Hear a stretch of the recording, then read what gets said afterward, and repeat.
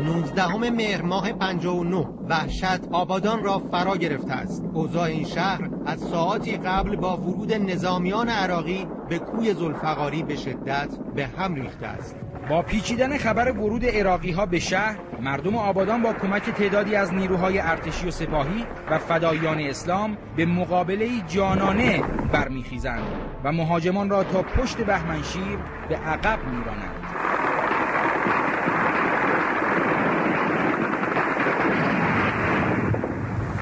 تعداد بسیار زیادی از افسران و سربازان ارتش بعثی مزدور عراق را به اسارت گرفتیم و تحویل ارتش عزیز دادیم و تا به امروز توانستیم خدمت ناقابلی به عنوان فدایان اسلام در خدمت اسلام عزیز و میهن اسلامیمون انجام دهیم. موقعی که سنگر اینا رو گرفته بودیم ده تاشون در حال تخم شکوندن اومدن به طرف ما. و با حالت زبون عربی با ما سلام کردن. تحلل حلول نمی‌دونم چی چی. که به محض اینکه من دیدم عربی صحبت می‌کنن بستمشون به رگبار اول گفتم تحل اومدن فرار کنن. مقدارشون اسیر کردیم. یک دو تا زخمی گرفتیم.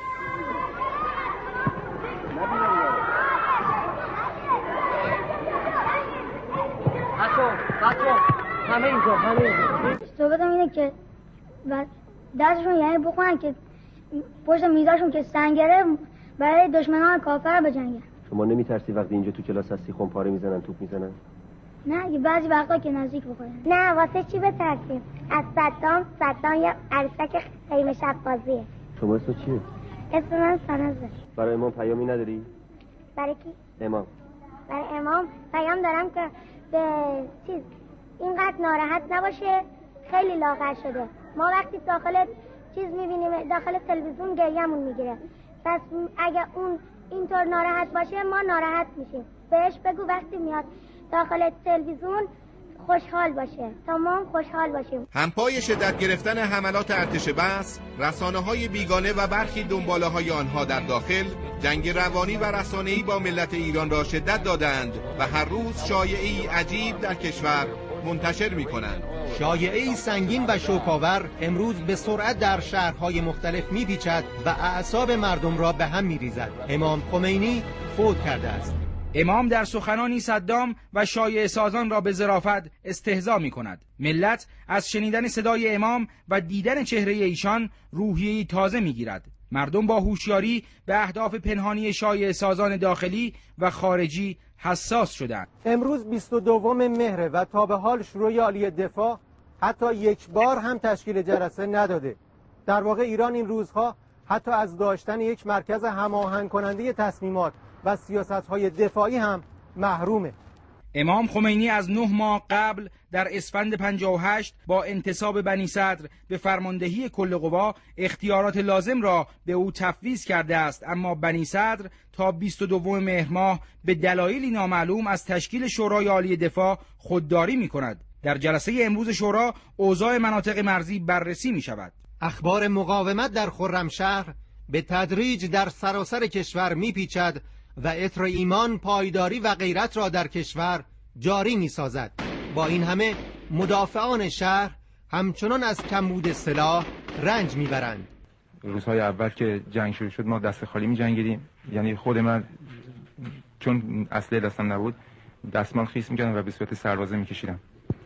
بعضی موقع هم کار دیگه متفرقه انجام می‌دادیم. یعنی می‌رفتیم پیاده مهمات میآوردیم میرسوندیم به در حدود شاید سه چهار کیلومتر پیاده می‌رفتیم یه صندوق مهمات می آوردیم که سربازای ما استفاده کنن. در نزدیکی مسجد جامع هستن نیروهای را ما در حدود 15 نفر رفتیم و 200 عراقی رو تسلیم کردیم. بعد نیرو نداشتیم 200 رو از دست دادیم. دشمن امروز 24 مهر پس از نبردی بسیار سهمگین با نفوذ به بخشی از خرمشهر موقعیت خود را بهتر می کند بی تردید هماسه امروز دهها مدافع مظلوم خرمشهر در مقابل هزاران نظامی مجهز بعثی در تاریخ آینده این سرزمین دهان به دهان بازگو خواهد شد.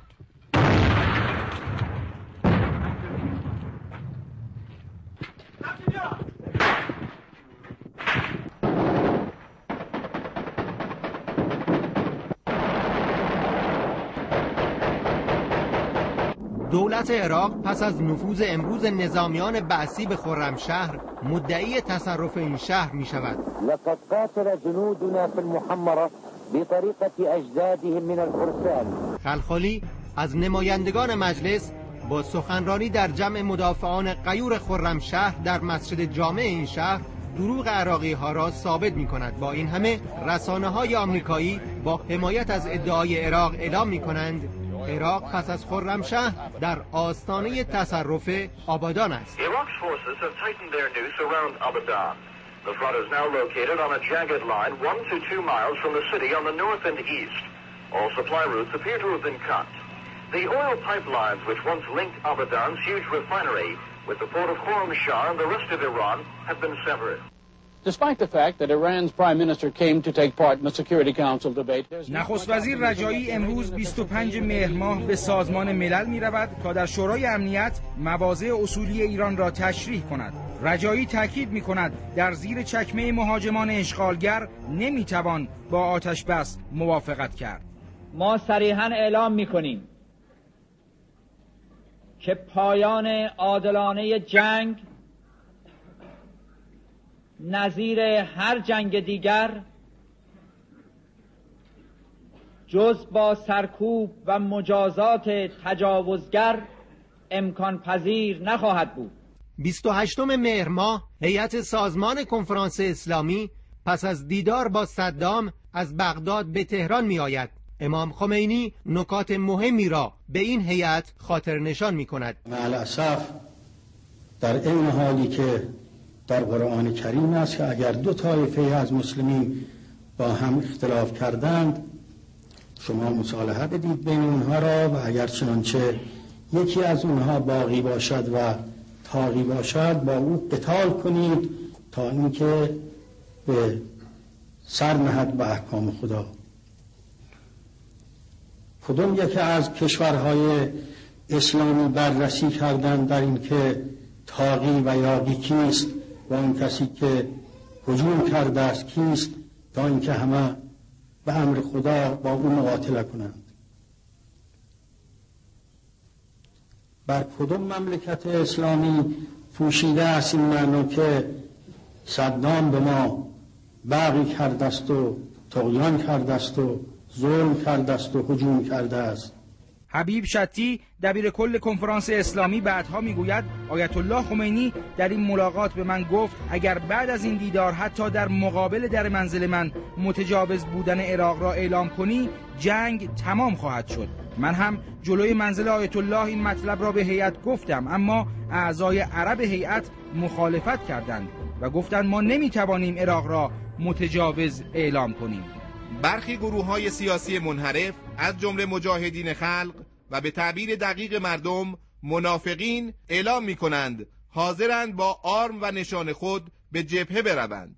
اهداف واقعی این گروه ها از حضور در مناطق جنگی مشکوک به نظر می رسد دادستان انقلاب اسلامی اهواز اعلام می کند هر کس می خواهد واقعا برای دفاع از کشور و انقلاب به جبهه برود مانند مردم و بدون آرم گروهی به جبهه برود. شماها یادتون باشه در شهرستان دارید نزاع به پا می‌کنید دارید بلبشو به پا می‌کنید دارید تمام نقشه های سازمان سیار اجرا می‌کنید. اینا رو اگر بیان اینجا کما اینکه خیلیشون اومدن و برگشتن بیان اینجا ببینن می‌بینن که اون راهی که اینا دارن میرن به قول معروف به ترکستان است. ولی این راهی که ما الان داریم میریم یه راهیه که اصلا اون مسائل درش نیست. و برای بچه‌ای که در جبهه هستن واقعا مسخره است که چرا اینا تو سرکول همدیگه می‌زنن. مثلا اینجا برخورده شیراز. اینا اگه راست میگن بیان جبهه ما اینجا مرد احتیاج داریم.